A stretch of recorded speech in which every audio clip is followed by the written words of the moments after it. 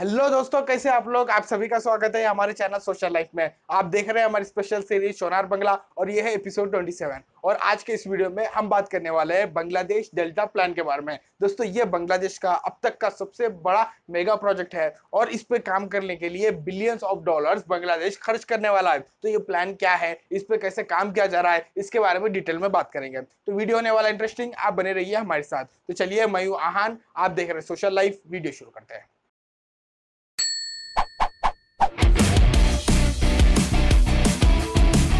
दोस्तों बांग्लादेश दुनिया की लार्जेस्ट डेल्टा कंट्री है। लेकिन सवाल ये है कि डेल्टा होता क्या है और ये कैसे बनता है। दोस्तों, जब रिवर्स फ्लो होते हैं, उन्हीं के साथ साथ बहुत से पार्टिकल्स भी फ्लो होते हैं, जैसे कि सैंड कॉन्क्रीट वगैरह वगैरह। और जब दो वाटर बॉडीज मिलते हैं, ये सारा मटेरियल एक जगह जमा होना शुरू हो जाता है, क्योंकि जब रिवर्स बहुत स्लो हो जाते हैं, इससे एक सरफेस फॉर्म होता है और वो रिवर्स दो हिस्सों में डाइवर्ट हो जाता है। और जो लैंड फॉर्म हुआ है, उसी को डेल्टा कहते हैं। दोस्तों, क्लाइमेट चेंज के कारण रिलेटिव सी लेवल राइज हो रहा है और इससे बहुत ही रिस्क है डेल्टा लैंड को। इतना ही नहीं, बांग्लादेश को कई इश्यूज़ का सामना करना पड़। रहा है इसके कारण, जैसे कि over flooding water pollution soil erosion droughts वगैरह वगैरह। और सबसे बड़ा इशू ये है बांग्लादेश का 33 percent land area below 5 metres है, और 2050 तक दोस्तों बांग्लादेश के 14 परसेंट लैंड एरिया को कॉन्स्टेंटली फ्लड्स का सामना करना पड़ सकता है, और 35 मिलियन से ज़्यादा, यानी साढ़े तीन करोड़ लोगों से ज़्यादा इससे इफ़ेक्ट हो सकते हैं, उनको रिलोकेट करना पड़ सकता है। और इस इशू को सॉल्व करने के लिए गवर्नमेंट ने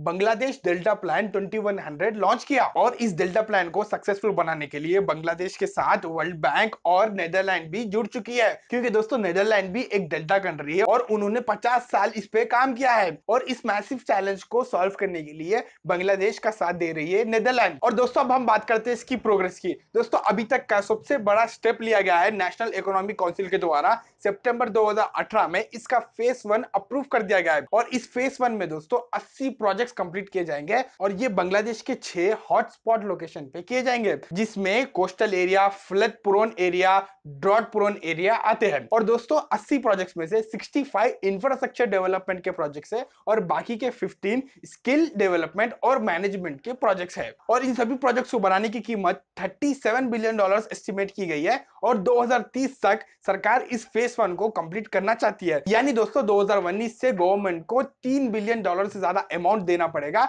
इस प्रोजेक्ट को कंप्लीट करने के लिए, जो बहुत ही बड़ी रकम है। और ये बांग्लादेश का अब तक का सबसे कॉस्टलीस्ट प्रोजेक्ट होने के साथ साथ अब तक का सबसे बड़ा मेगा प्रोजेक्ट है और बांग्लादेश के करोड़ों लोगों की लाइफ इससे बदल सकती है। दोस्तों, ये था एक ओवरव्यू बांग्लादेश डेल्टा प्लान 2100 के बारे में। हम आगे चल के इस पे एक डिटेल वीडियो बनाएँगे। आप बने रहिए हमारे साथ। और ये वीडियो कैसा लगा, इसके बारे में आप क्या सोचते हो, नीचे कमेंट में हमें ज़रूर बताइएगा। वीडियो अच्छा लगा तो लाइक कर दीजिए। अगर आपने चैनल को सब्सक्राइब नहीं किया तो चैनल को भी सब्सक्राइब कर लीजिए। हमारा वीडियो देखने के लिए बहुत बहुत धन्यवाद। Thank you